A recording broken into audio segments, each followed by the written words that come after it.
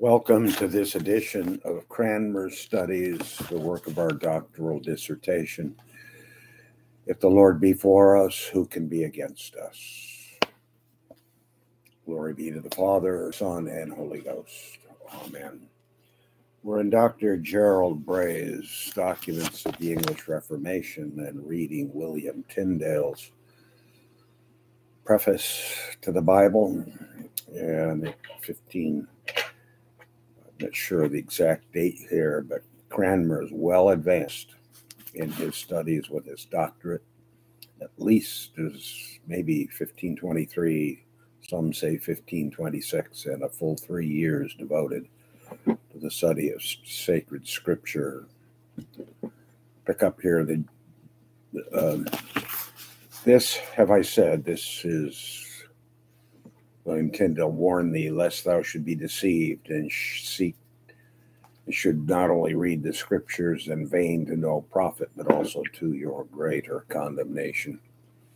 For the nature of God's word is that whosoever read or hear it reasoned and disputed before him will begin immediately to make him every day better and better. Hi, Mary. We're reading Tyndale on his preface to the Bible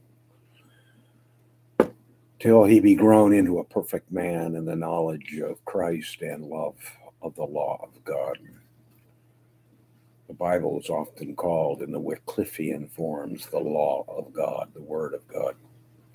Or else the reading of the Bible will make him worse and worse till he's hardened his heart that he openly resists the Spirit of God and then blasphemes after the example of Pharaoh, Korah, Abiram, Balaam, Judas, Simon Magus, and others. This is, oh, good. I'm glad, Mary, to hear you subscribe to Global Anglican. Global Anglican has given me renewed hope.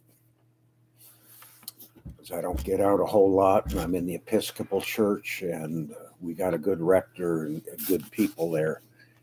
But the bishop's a no load. He doesn't talk theology. So the Episcopal Church is in dire trouble with apostasy and heresy. But the global Anglican still believes in the inerrancy and inspiration of Scripture.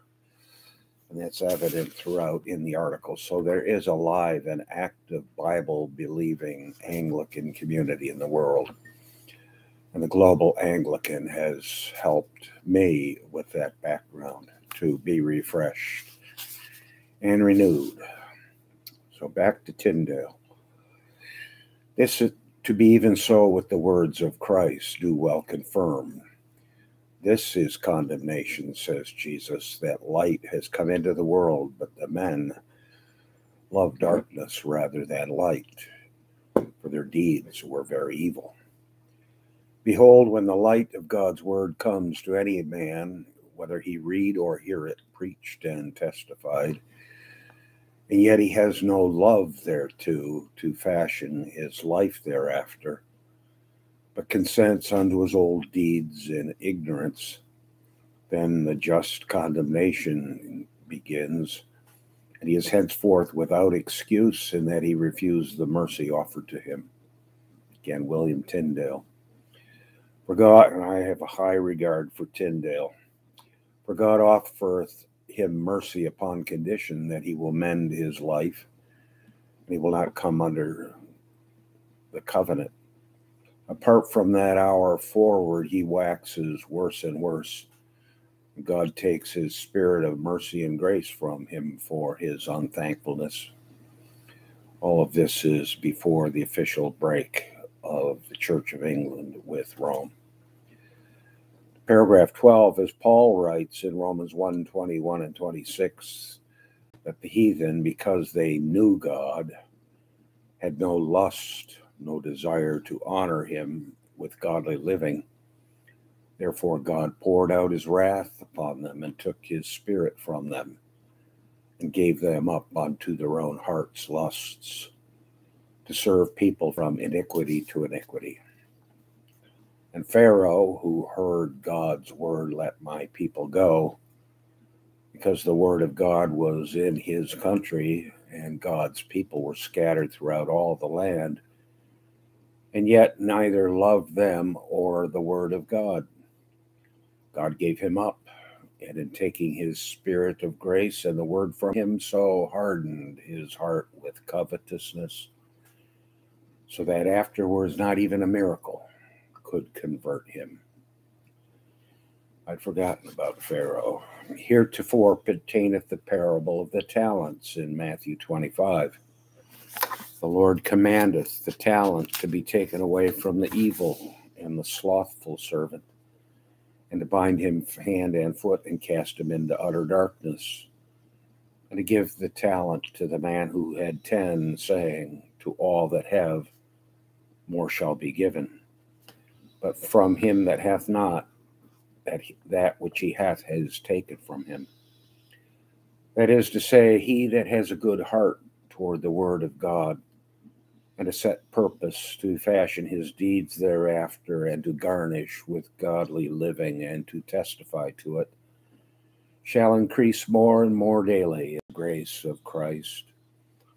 But he that loveth God's word not, to live thereafter and edify others, the same shall lose the grace of true knowledge and be blinded again, and every day wax worse and worse and blinder and blinder, till he be an utter enemy of God's word. Paragraph 15 and Luke 12 47. The servant that knoweth his master's will and prepareth it not himself shall be beaten with many stripes, that is, shall have greater damnation. And Matthew 7:26, all that hear the word of God and do not thereafter, they build on sand, that as the foundation laid on sand cannot resist the violence of water, but is undermined and overthrown. Even so, the faith of them that have no lust nor love of God's word build upon the sand of their own imaginations and not upon the rock of God's word. Turneth to his desperation in time of tribulation when God comes as a judge.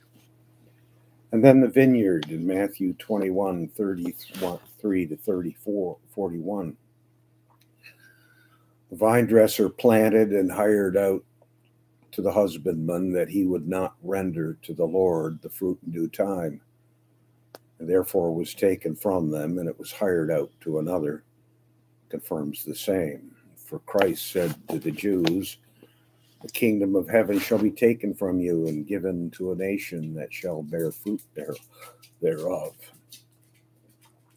For the Jews have lost the spiritual knowledge of God and of his commandments and all the scripture so that they can understand nothing godly.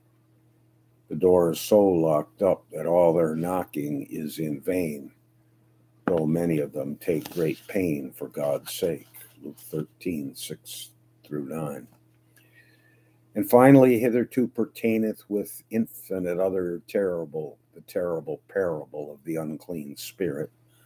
Luke 11, 12 to 26 which after he is cast out, when he comes and finds the house well swept and garnished, taketh to him seven worse than himself, and comes and enters and dwells therein.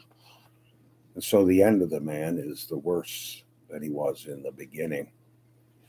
The Jews, they had cleansed themselves with God's word from all outward idolatry and worshiping of idols but their hearts remain still faithless toward God and toward his mercy and truth, and thereto without love and lust to his law, and to their neighbors for his sake, and through false trust in their own works, to which heresy the child of perdition, the wicked Bishop of Rome, with his lawyers, have brought us Christians were more abominable idolaters than before and become ten times worse in the end than at the beginning. For the first idolatry was soon spied and easy to be rebuked of the prophets by Scripture. But the latter is more subtle to beguile. and a hundred times the more difficulty to be weeded out of men's hearts. This is also a conclusion, nothing more certain or proved by the testimony and example of scriptures, that if any favoreth the word of God be so weak that he cannot chasten his flesh, him will the Lord chastise and scourge every day sharper with tribulation and misfortune. And we'll pick this up again as we ponder William Tyndale in the 1520s in his preface to the Bible. We turn now to Professor Edgcumbe, Philip Edgcumbe Hughes's Theology of the English Reformers on the subject of preaching and worship. We've seen some wonderful statements by bishops and archbishops. Again, goes to Mary's point here with Global Anglican that this is the real Anglican church, which is Bible loving, Bible thinking, Bible living, Bible expounding historically. When Article 23 of the 39 Articles declares, quote, it is not lawful for any man to take upon himself the office of public preaching or ministering the sacraments in the congregation before he be lawfully called and sent to execute the same Yet it does not follow from this fact that the layman has no responsibilities of witness and communication. There is also such a thing as preaching by the quality of one's living. Every quote, every man, private man ought to be in virtuous living, both the light and salt to his neighbor, says William Tyndale, when expounding Christ's words, Ye are the salt of the earth Ye are the light of the world. Tyndale goes on, insomuch that the poorest ought to strive to overrun the bishop and preach to him an example of living. Moreover, every man ought to preach in word and deed unto his own household, and to them that are under his gar- gar- governance. Close quote. The Christian layman, therefore, has a further obligation to study and instruct himself in the Word of God, so much that he is in a position to reprove false teaching, no matter from whose mouth he hears it. Thus, William Tyndale, whom we were just reading, continues. Again, he's an English reformer. Quote, and though no man may preach openly, save he that has the office committed to him, Yet ought every man endeavor to be well learned, just as much as the preacher, as nigh as it is possible. And the preacher and the bishop too, if need be. For if the preacher preach wrong, then may any man, whatsoever he be, rebuke him first privately, and then, if that not help, complain further. And when all is proved according to the order of charity and love, and yet no amendment be had, then every man ought to resist that preacher and to stand by Christ's doctrine and to jeopard life, jeopardize life and all of it. Close quote. This is a good example of the practical implications of the Reformed emphasis on the sovereignty of God's Word, which is placed above all human and ecclesiastical authority. Tyndale indeed asserts the right of the least man in the realm to reprove even the king, should he decree whatsoever is contrary to God's word.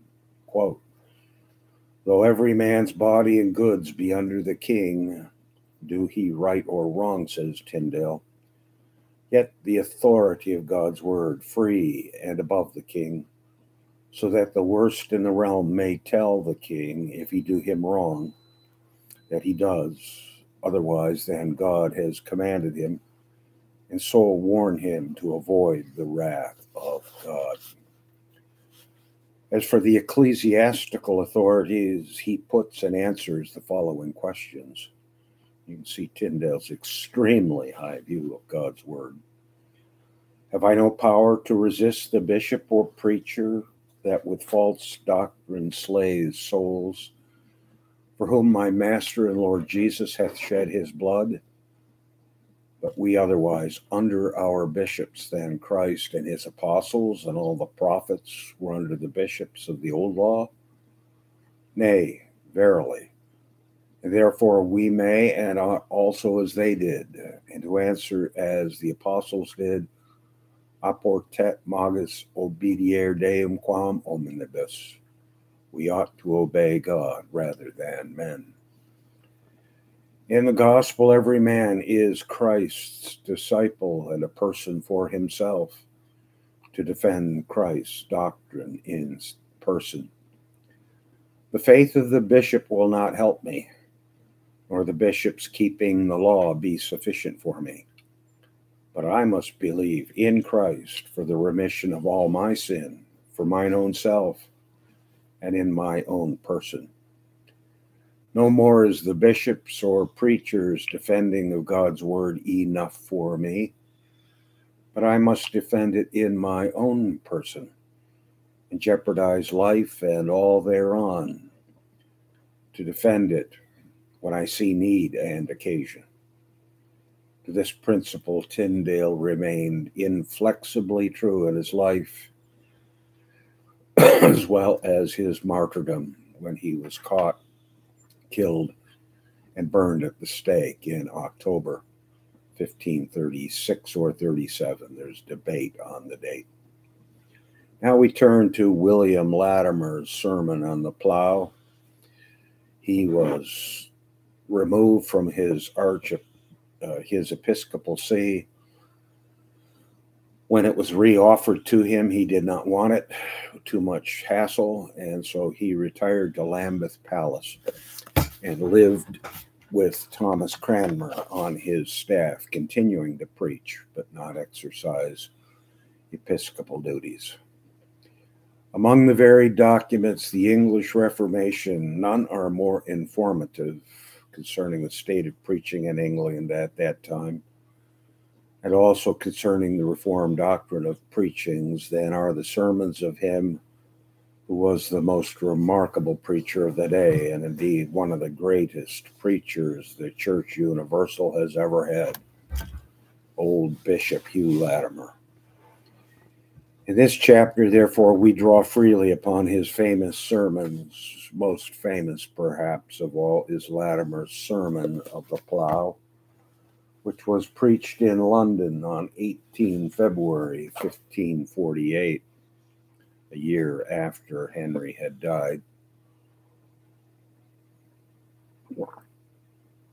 Latimer explains that God's word is seed the congregation is the field in which the seed is grown, and the preacher is the plowman. Far for preaching of the gospel is one of God's plow works, and the preacher is one of God's plowmen.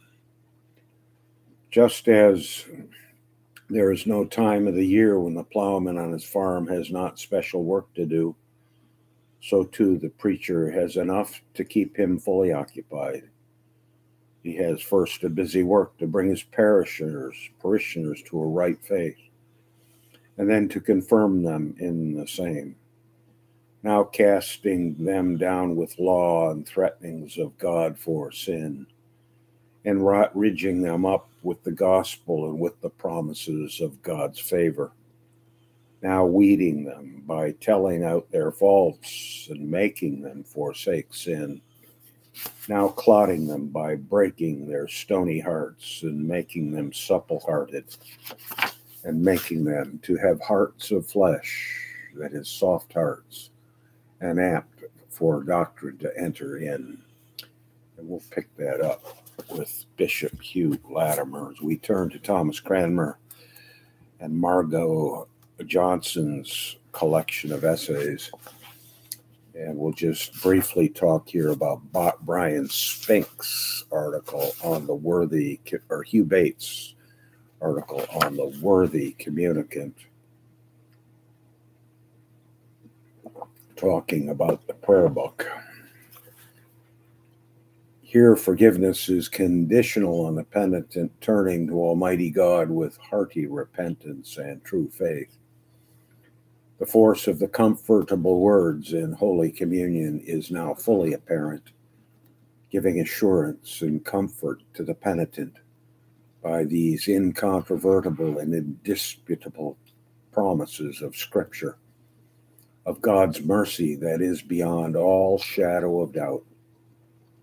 But these are already present in 1548, which would indicate that the same interpretation is placed on the absolution as well.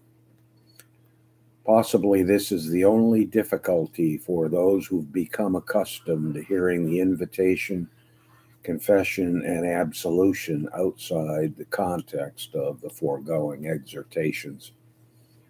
And we're talking about prayer book details here. At this point, the intending communicant will have known what is expected of him or her. They will have considered the saving passion of Christ and the nature and purpose of the sacrament which they are about to receive, Holy Communion. In one form or another, they will have made an act of penitence for their past sins. They will be reconciled to their neighbors in love and charity. So now they may approach the sacrament, certainly not in a spirit of presumption, but in trusting in God's promises and the merits of Jesus Christ. If they can affirm all this of themselves with their heads hands on their hearts, as it were, then they are de- indeed making a difference in Christ's body. And they will truly and spiritually eat to their comfort and assurance though, with those words of institution in his gospel and commanded to continue as a perpetual memory of his precious death and coming again. On the surface and in the broad outline, the order for Holy Communion of 1548 may not be altogether untypical of what would have happened in the medieval church when communion was administered to the people. This may have been very much the exception rather than the rule, but it did happen on occasion and needed to be accommodated when it did. How this was actually done was left in large measure to the discretion of the celebrant. An example of this is found in the Harleian manuscript 2383. This comprises a vernacular exhortation preceded by a form of private confession and followed by a long absolution. Here also, the stated requirement for receiving the sacrament is proper faith and hearty penitence leading up to a rudimentary and a basic general confession. Continue the thinking on the Holy Communion, a wonderful service, even to this day, although it has suffered neglect by affirming right two over right one regrettably. Turn now to Prof. MacCulloch on Thomas Cranmer in the period of 1539 to 1542 and the salvaging of the cause and the six articles of 1539. Opinions differ as to whether or not the five May Committee's appointments was in fact a front to disguise the fact that the king's mind was already made up upon the broad shape of policy. Henry was back and forth, and I'm convinced, despite some positive reporting on Henry, that he still died a devout Roman Catholic without the Pope. He put up with a lot from Thomas Cranmer. There's a, a weird relationship where Henry protects him despite even after Cromwell's death. Uh, the cards are stacked against him, and the betting, those betting on the odds were convinced that Cranmer was going to follow Cromwell to the scaffold. Anyways, back to it. What is beyond dispute is that on 16 May, The Duke of Norfolk abruptly announced in the House of Lords that the committee had not been able to agree on anything, just as, he observed sourly, some peers had predicted when he was appointed. He therefore felt it best if the House of Lords considered six specific doctrinal questions, which are recorded in the House of Lords Journal. They, there were the first glimpse of these six articles, which would eventually be embodied in an act of parliament, sometimes called the Six Whips. When they move way beyond a simple concern with the sacrament of the altar, the fact that the Duke of Norfolk was the agent in the announcement is itself significant. Norfolk was the embodiment of lay traditionalism. The Duke became the butt of an anecdote which circulated in Cranmer's household about the aftermath of the Six Articles debacle. In this story, Norfolk acted as an unwilling straight man to one of the Archbishop's more spirited evangelical proteges in a barbed exchange about clerical celibacy. The bald record of the House of Lords proceedings in a journal goes on, revealing procedurally unusual occurrences which indicate that events were swinging wildly out of Cromwell's control, if not the king's.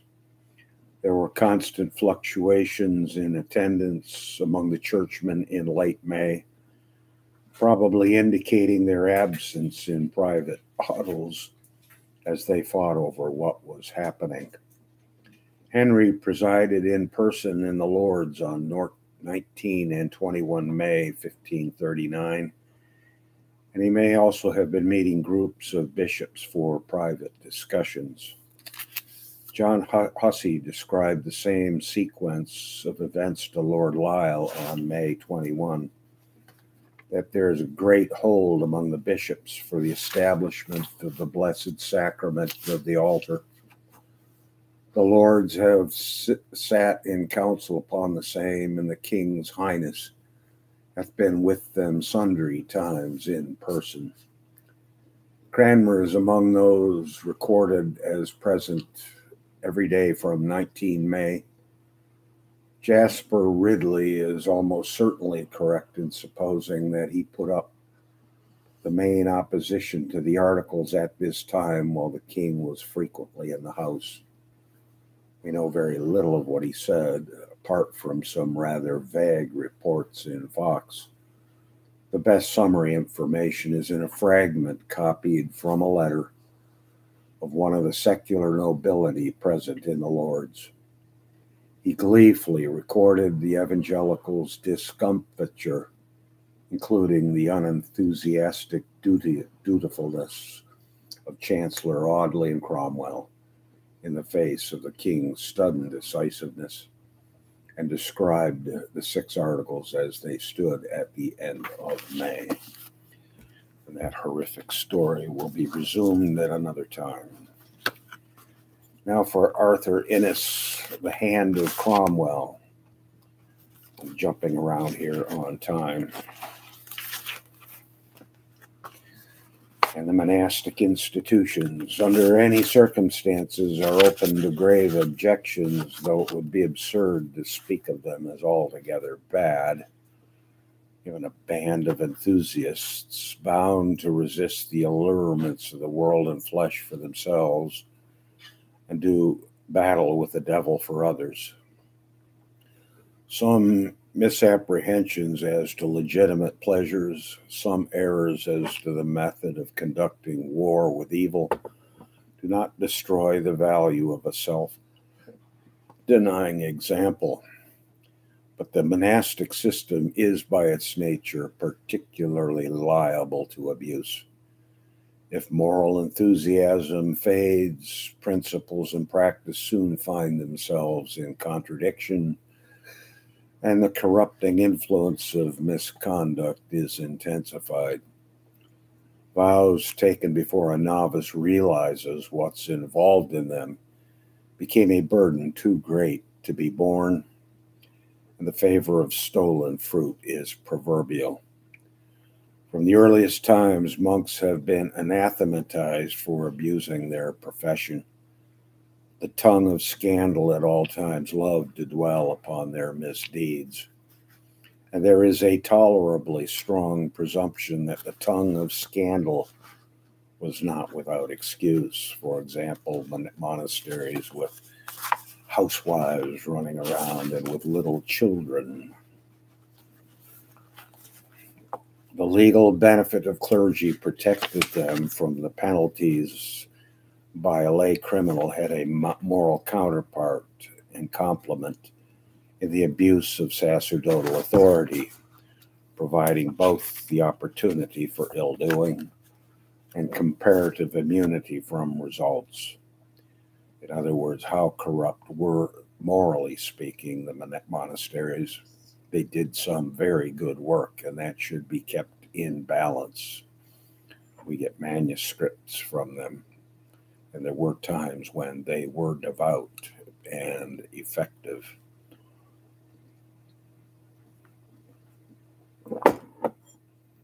But they're going to close down 800 of them in Cromwell's time. It's inconceivable that communities which enriched the exchequer, exchequer by the exhibition of sham relics and a concoction of fraudulent miracles should have escaped serious blunting of the moral sense. Though the tales of such miracles and relics was no doubt exaggerated, at least so far as concerned willful deception, their general prevalence is beyond dispute. The inducement to what may euphemistically be called the lack of discipline must have been immense throughout the whole class of exempt monasteries, houses, that is, they were exempt from episcopal visitation. We'll pick that up again, the whole issue of the monasteries. Now, for a lovely volume by Leslie Williams, Emblem of Faith Untouched, uh, kind of book that you might want to get for an aunt or uncle with no background, Thomas Cranmer. We're talking about the Archbishop Cranmer when he gets chosen in 1533. We pick up here in this chapter six the emperor's ambassador, that'd be Charles. Charles one, yeah. Eustace Chapuis, the ambassador, however, knew the score and wrote to the emperor, trying to get him to encourage the pope to delay. Chapuis was too late. The papal permission to install Cranmer arrived at the end of March 1533. Immediately setting aside other issues, the Canterbury Convocation reconvened after Passion Sunday, March 30, to consecrate Thomas Cranmer as Archbishop of Canterbury. Meeting at St. Stephen's College in the Palace of Westminster, next to Cranmer's lodgings, the official body took the first steps to change the English Church from a branch of the Roman Communion into a national, independent church body. For the previous 400 years, new archbishops had sworn two oaths of loyalty the first to the Pope and the second oath to the King. On March 30, Cranmer knelt and swore to be a faithful and obedient servant to the Holy Peter to the Holy Roman Church of the Apostles, and to my Lord Clement VII and his successors. Cranmer accepted the pallium as symbol of his office. Then he took the traditional oath of allegiance to the king in respect to Henry's temporalities of lands and goods, swearing to renounce and forsake all such clauses, words, sentences and grants which I have of the Pope's holiness in his bulls of the Archbishopric of Canterbury, that in any manner was or is or may be hurtful or prejudicial to your highness. Through these, though these two oaths have been sworn, had been sworn back to back for centuries, this time was different. Again, this is 1533, March 30. For both Henry and Cranmer knew it was different. Under the current circumstances, Cranmer was nervous about the implications of having to make two diametrically opposed oaths. Civil lawyers had quieted his conscience on this morally dubious maneuver by citing the examples of several other reformers.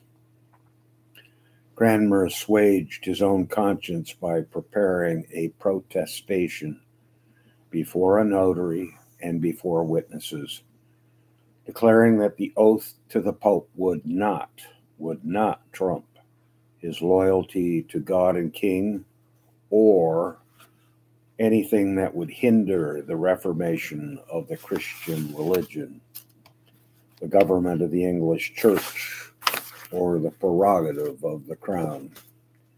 Cranmer's detractors claimed he committed perjury.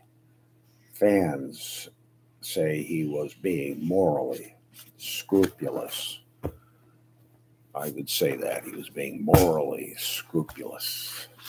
We turn now to Trump, Paul Ayris's Thomas Cranmer, churchman and scholar. And we're talking about his liturgical work. Uh, where were we? We are over here on the sacrament of the altar, a hot issue in the Reformation. Who of his inestimable mercy and love towards us, that we should have perfect hope, strength, comfort, and joy in him. This is why I like liturgy, because it's so serious so that we should have continual remembrance of his most dear charity showed towards us in his death and passion.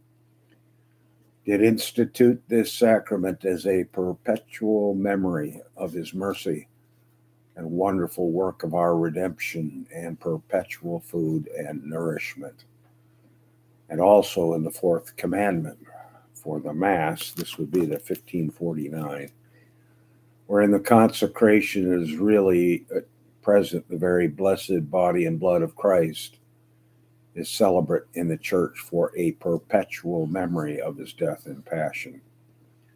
Here is an official doctrinal treatise has become the source for liturgical language.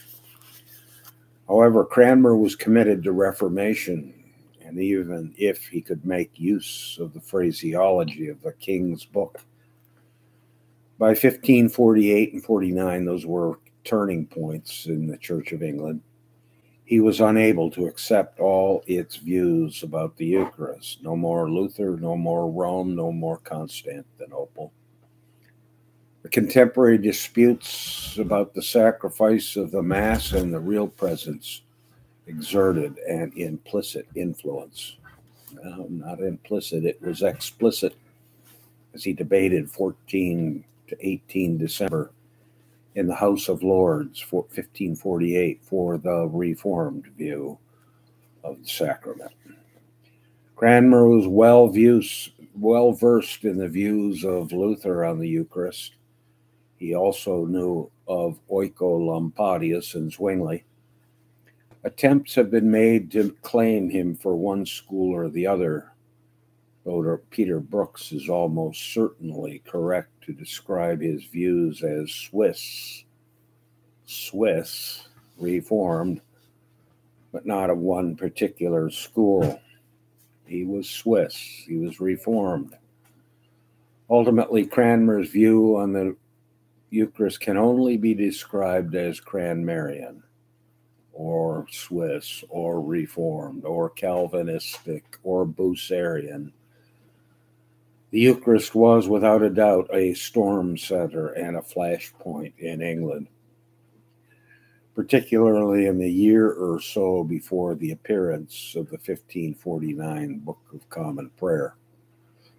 Some of the disputes and discussions are reflected in the 1549 Eucharistic Rite.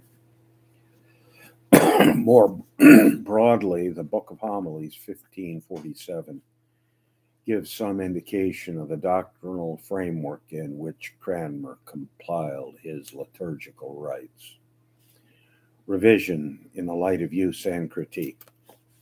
Most of the Continental Reformers seem to have staged their liturgical reforms in at least two parts, moving from moderate reform to that of a more radical nature. Cranmer's 1549 rites seem moderate, whereas those of 1552 were more radically Protestant. That's quite the word, radically. The revision took place in the wake of controversy, controversy and invited discussion. On the question of the Eucharist and sacramental efficacy, Cranmer had to do battle with Stephen Gardiner, Bishop of Winchester. Gardiner published his work on the sacrament, pronouncing the 1549 rite as not being very far off from the Roman Catholic faith. Cranmer retaliated in a written work, and I didn't say retaliate there. Who's writing this? Bryan Spinks. Retaliate is not the word. Refuting Gardiner point by point but the greatest refutation was contained in a drastic, there's another bad word, revision of the Eucharistic rite. He was reformed. He wasn't into the Anglo bone muncher cruncher view. He was not a cannibal. He saw the issues that went back to Berengarius in the ancient church. And Fulspa of Ruspa, Fulgentius and Wycliffe in the 14th century, and Berto of Kirkcaldy, and Elfric of northern England in the late 9th, 10th uh, century. So using words like drastic here are overdone by this scholar. It is significant that in a number of places the phraseology Cranmer used to reply to Gardiner is reproduced in the prayers of the 1552 Common Book, Book of Common Prayer. So, Cranmer was reformed on the Eucharist. We turn now to uh, Jasper Ridley's most excellent volume, and he's retailing the fall of Cromwell here. Trying to find out where did we let off at. I believe it's here. Herbert writes that, no, it's over here. Thirlby. When he heard of the arrest of Norfolk and Surrey at Christmas 1546, he wrote to Paget, I would write unto you if I could against these two ungracious, ingrate, and inhuman non homines, the Duke of Norfolk and his son. Is that Cranmer?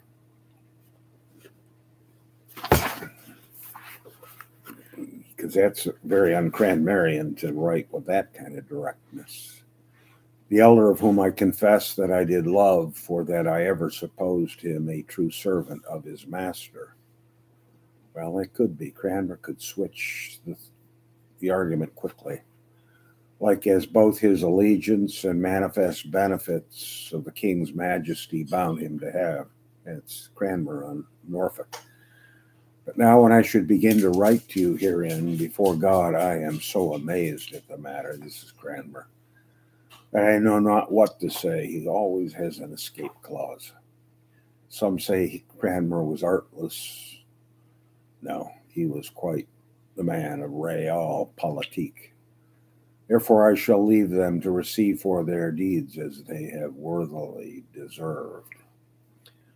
But Cranmer could not maintain his upright attitude without being involved in the utter ruin.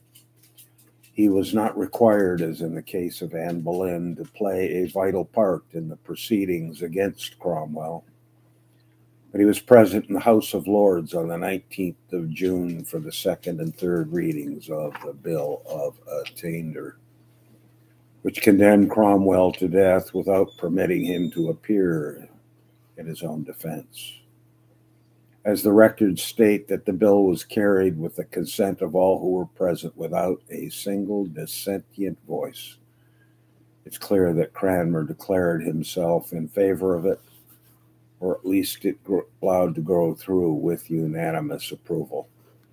Although the bill condemned Cromwell not only as a traitor but as a heretic and sentenced him to be hanged, drawn, quartered, or burned at the king's pleasure.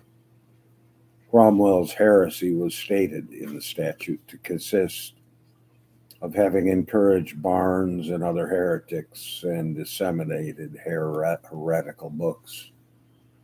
Cranmer's himself had done as much, both as regards doctrine and protection of reformers, as his old colleague, whom he by now, by his vote, sentenced to be burned for these offenses.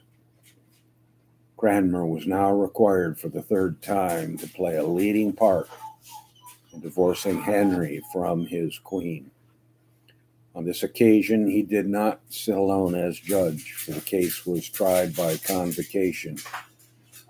But it's difficult to minimize Cranmer's role in the hurried and highly questionable divorce of Anne of Cleves though Gardiner, who welcomed the divorce far more than Cranmer, certainly played a more pro- prominent part. Cranmer was one of the six members of the House of Lords who asked Henry to permit the convocation to determine the validity of the marriage. And here we'll bring this to an end.